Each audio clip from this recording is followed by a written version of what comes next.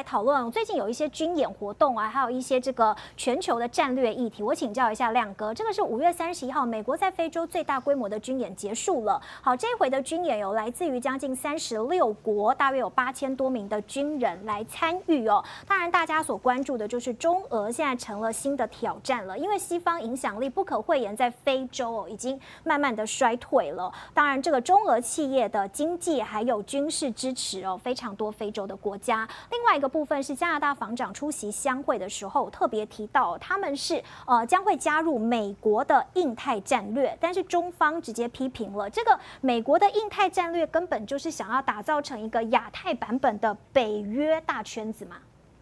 我觉得这个有点夸大其词啊，就是因为在亚洲大部分都是本来就有共同防御条约的国家，对，然后再叠加了，嗯，啊，比如说把韩国、日本啊、菲律宾啊、澳大利亚都拉进来。你说印太战略夸大其词？我这个本来就有共同防御条约啊，嗯，可是里面有很多国家是没有共同防御条约啊，对，比如说印度啊，嗯，我觉得印度就没有那么积极啊，他就玩自己的。嗯，我不一定要配合你啊，应该说他是利用他们啊。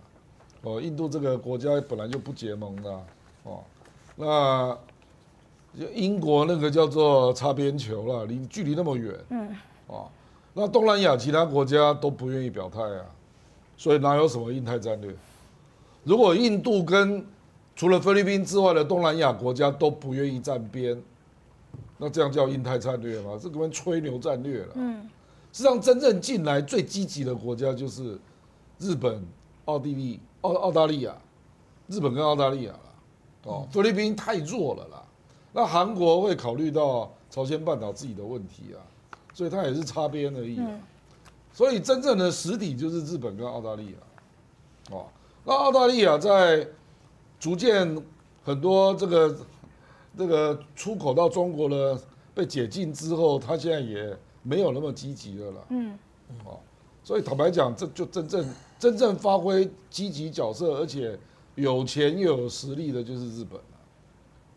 其他还有谁啊？菲律宾那算算是个咖吗？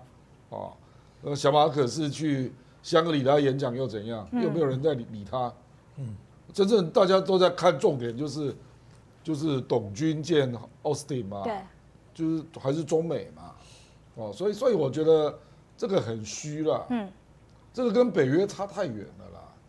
北约那个是有年年的年度的一些共同的计划哦，那而且还有很多，像慕尼黑会议这一种啊，对不对？每年都要讨论新的议程啊，等等啊。我我是距离我是觉得差很远啊。嗯，你如果真的都是。呃，这么有敌意的关系，那岸田文雄为什么要跟中国见面？啊，你你你应该会，你应该像菲律宾这样才对啊。对，有所顾忌。菲律宾现在跟中国大陆几乎全部都断了，嗯，对不对？那中日韩峰会为什么要开呢？而且看起来是日本跟韩国都很积极啊，嗯，哦，所以所以我觉得亚洲不是那样的一回事，嗯，哎，亮哥，那这个非洲演习呢？我这个美国本来在非洲就还是有一定的部队，这里主要是北非嘛。哦。那北非当然有一定的部队，因为它往上就是那个直布罗陀啊，那是进入地中海的要道啊。嗯。美国再怎么样，地中海还是有一个航母舰队啊，所以他还是会守这里的。可是美国在非洲是越来越没有力量了，因为它没有经济基础。嗯。所以为什么在非洲？大概都是法国跟中国啦，那法国也只有西非啊，那其他就是中国啊。为什么？中国事实上就是因为它有经济基础嘛。美国事实上你要叫他的一个跨国企业长期待在非洲，那几乎难以想象啊，难以想象。啊。对他来讲，那个利益太小了，所以也没有人愿意常驻啊。哦，所以，所以我是觉得很难呐，因为你去看他这几个国家嘛，那。呃，那为什么埃及不进来呢？嗯，那图尼西亚最近还去拜访中国啊，不是吗？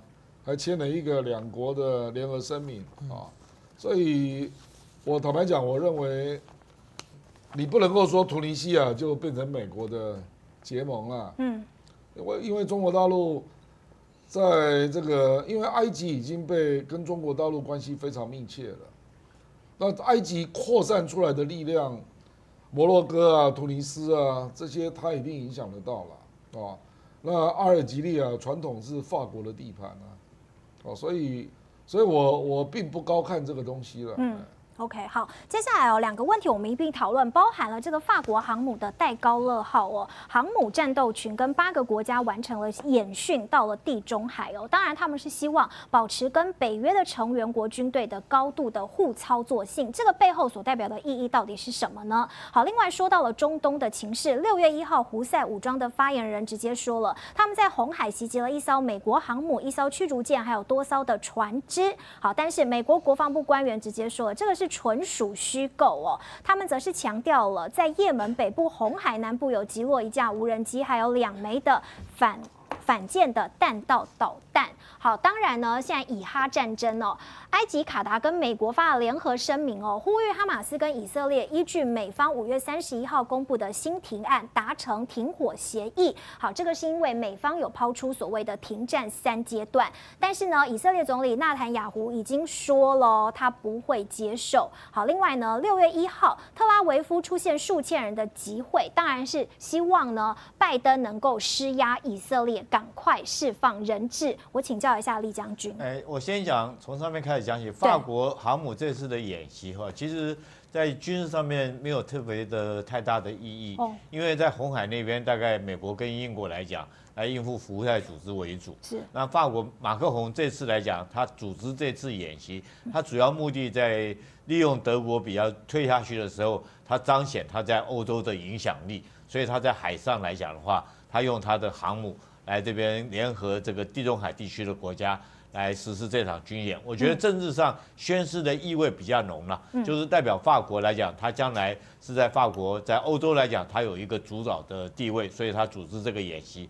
那有一点跟美国别苗头，因为美国下个月要实施环太平洋军演，所以法国就在这边地中海这边来讲的话，他用戴高乐航母结合几个国家地中海周边的国家来实施这种航母的一个这个。海上的一个演练哈，那中东这个就比较有意思了。嗯，到底胡塞呃这艘这个美国航母来讲有没有被打到？其实哈，大家都抱着笑话在看，因为这胡塞讲了第二次了。第一次讲的时候我们不在意，认为说胡塞在吹牛，对，或者是说假的，结果没想到第二天他又讲说我打到了。对，那美国来讲呢也很有意思。那我们各位可以看一下好，大家来猜猜看，到底美国这艘为艾尔艾森豪号有没有被打到哈？这个美国来讲的话，第一个，它的周边来讲，其实航母护卫的战力是很强的，它周边还有很多的导弹护卫舰在旁边帮它发射这种对空的导弹。嗯，但是我大概算了一下哈，如果它旁边有这个四五艘的这护卫舰来讲，它对空导弹可能最多也就三百枚。那三百枚的话，那胡塞有没有可能说是用一千架的无人机去攻击它？这种可能性很高哎。我这三百枚导弹，每一枚的话最便最便宜的也要两百万美金，但是我无人机的话，可能是这个两千块的美金就可以有一架无人机。那你说有没有可能它类似那种阿萨克洪水？这个以色列打的那种方式，我用密集的这种饱和式的攻击来攻击你这艘航空母舰，有可能。那你被打到定义是什么？是说只是砸到一下这个一个小爆炸，还是砸穿？那砸穿当然是不可能了。但有没有可能有一架无人机就突破这种防线来讲掉下去？我觉得可能性很大。第二个，我们提出质疑的就是美军来讲的话，这是艾森豪威尔号他的这种舰长，他特别公布我没被打到，对不对？他他发了一张照片，他发了一张照片来讲的话，哎，不发还好，发了以后大家觉得很奇怪。你知道他发什么地方照片？你说你没有被打到，你就拍甲板上面嘛，哈。我们看这甲板很平静，就他现场发了一张照片是厨房没被打到，说厨房还保持正常运作，餐厅还可以正常吃饭干什么？那我们大家怀疑说有没有一架无人机掉到你的甲板上面，在那边产生一个爆炸？那那重点是什么？就是说胡塞敢打。就第一次，大概全世界第一次有一个国家敢用这种对美国的航空母舰发动攻击。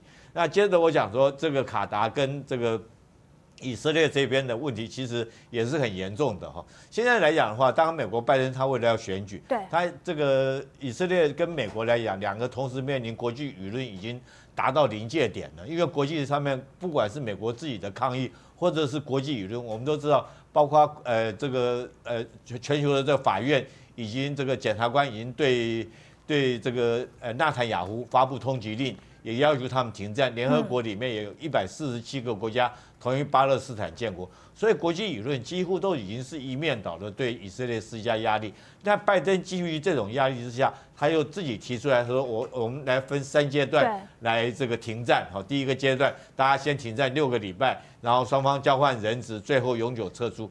结果我们就认为说是这给你一个以色列一个台阶下，因为你到现在为止来讲的话，你北中南都还在打，北部打加巴利亚，中部来讲费城走廊，南部那边拉法那边，所以可见你对于哈马斯这几个营来讲，你还没有办法彻底歼灭，那你等于说自己的兵力现在这个地方已经七个月了。嗯，好，那现在问题来了，问题是纳坦雅胡心里怎么想？纳坦雅胡也愿意接受，可是他知道一件事情，就是说他极右派。包括他的内政部长，包括甘茨这种战时内阁来讲，他们极右派不同意你停火。你说停火，我就退出政党。那六月八号以前，他们给的最后极限是六月八号，你要提出治理方案。治理方案就是军管了，你怎么样管制加沙走廊？那那他雅虎基于自己个人的政治前途来讲，如果说是这些这个极右派退出他的联合政党来讲的话，联合的内阁来讲的话，他就垮台了嘛，那他就再也没有东山再起的机会。所以他为了配合这些这极右派的主张，就坚持要打到底。我觉得他真是狠狠打了拜登一个巴掌。嗯，OK，好。太阳星全效克菲尔益生菌，我吃了两三天，最明显的感觉是睡眠品质竟然变好了。睡得好，让我整个人工作更专注，心情也变得更稳定更好。因为太阳星全效克菲尔益生菌，才让我认识到克菲尔益生菌，它是由多支菌种的益生菌所组合而成，不仅能够维护消化道机能正常运作，还拥有多种有益健康的保健功能，相当强大。你知道吗？有台大教授专门研究它，称它是神仙的礼物。上千篇的国际研究证实，克菲尔益生菌不仅帮助肠道健康，肠道菌透过肠脑轴影响全身器官，所以维持肠道菌丛的平衡是解锁身体健康、精神健康的钥匙。